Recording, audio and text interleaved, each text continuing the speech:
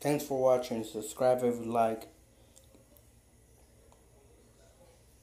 Leave a like, comment, and subscribe one more time.